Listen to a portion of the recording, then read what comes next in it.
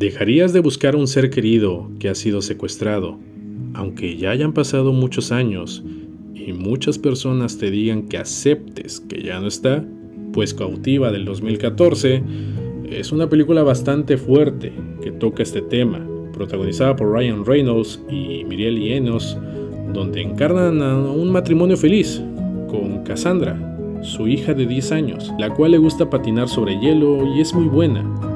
Día después del entrenamiento, el padre y la hija se dirigen a casa, pero antes pasan por un poco de comida a un local. Para todo esto, la historia se desarrolla en un pueblo llamado Niagara Falls, en Canadá. Es decir, toda la película se la pasa nevando, y esto es muy abrumador.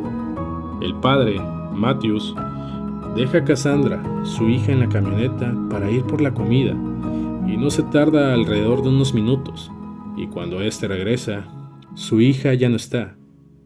Busca por todo el auto, afuera del auto, en la tienda, atrás de la tienda, en la carretera donde se encuentra la tienda.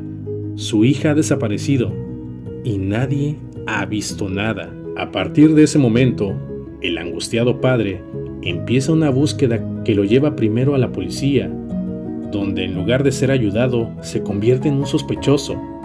Entre sospechas, preguntas y malos entendidos, los agentes pierden las posibles pistas y el asunto no se resuelve ni a corto ni a mediado plazo.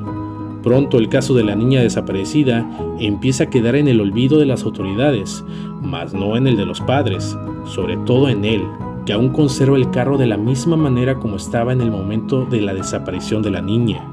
Al cabo de ocho largos años, los padres, ahora separados, reciben una llamada de unos agentes de policías que creen haber encontrado una pista de Cassandra.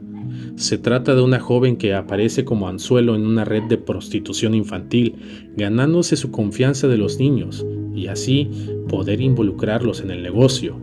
Mientras esto sucede, conocemos la historia de Cassandra, quien con 18 años, a cuestas, continúa estando secuestrada por uno de sus captores, quien la obliga a hacer una serie de grabaciones con los que consigue ampliar el mercado. Como parte de este juego macabro, este hombre goza torturando a Tina, la madre de la chica, dejándole objetos similares a los que tenía su hija en los cuartos de un hotel que ella debe limpiar mientras es observada por cámaras secretas. En medio de la búsqueda que emprenden los agentes de la policía, el padre es contactado por los captores de su hija.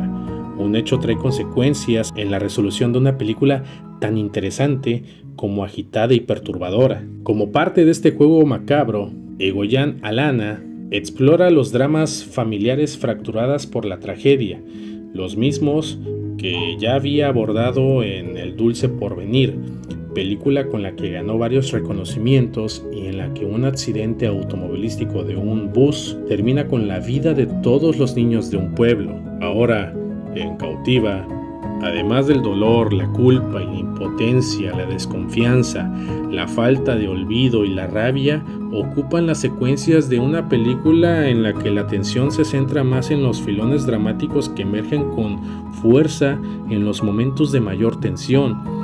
Nos encontramos entonces con los reclamos constantes que emergen en cualquier conversación casual que pueda sostener Tina y Matthew, o la constante desconfianza que la policía siente por el padre, cuyo único delito fue dejar a su hija sola cinco minutos en su propio auto. A fin de cuentas, hasta nosotros podemos preguntarnos hasta dónde llega el daño ocasionado a esta niña que por ratos termina siendo una más de ellos.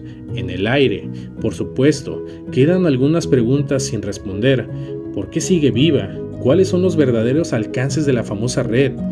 Cómo operan en la realidad. Preguntas que tal vez el director no pretende responder para centrarse en una producción que va mucho más allá de una búsqueda desesperada, actuada por personajes muy bien construidos. Aquí el tema que subyace es mucho más complejo y bien podría convertirse en una producción que pone el dedo en la llaga con los temas de las redes sociales, la pedofilia y las altas esferas que operan tras estas máscaras. La película está disponible en Movie o también la puedes encontrar completamente gratis en YouTube. Y ya la viste, ¿qué te pareció esta historia?